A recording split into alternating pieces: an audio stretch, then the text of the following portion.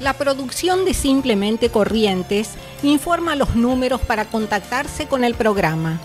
Los interesados podrán hacerlo a través de correo electrónico, Facebook y celular que figuran en la pantalla.